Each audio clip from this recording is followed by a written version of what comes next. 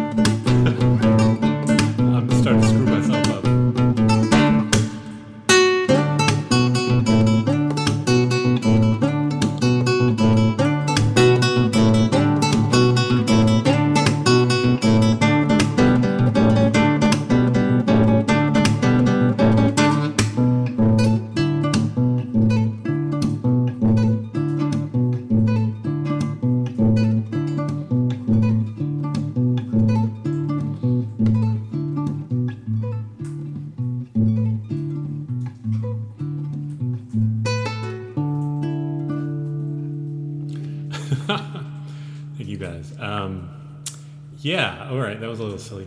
I'm going to do another original. This one is a short little pretty one called Voodoo's Bolero.